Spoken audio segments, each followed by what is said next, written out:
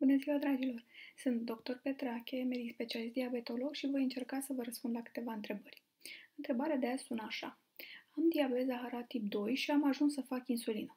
Nu văd asta ca un lucru bun. Ce părere aveți? Nevoia de administrare a insulinei nu este un semn că nu ați reușit să tratați corect diabetul. Diabetul zaharat tip 2 este destul de diferit de diabetul zaharat tip 1. Diabetul zaharat tip 2 se produce din cauza insulinorezistenței. Diabetul zaharat tip 2 progresează. Diabetul zaharat tip 2 diferă de la o persoană la alta. Multe persoane țin sub control diabetul zaharat tip 2 printr-o alimentație sănătoasă, un control al greutății corporale și activitate fizică.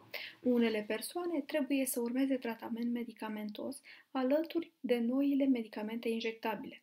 Alte persoane au nevoie de insulinoterapie. Nu ați greșit și nici nu sunteți de condamnat dacă veți începe să aveți nevoie de insulină.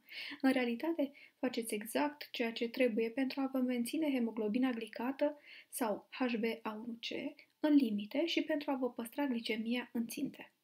Faceți prin insulinoterapie tot ceea ce este nevoie pentru a trece prin viață cu această boală.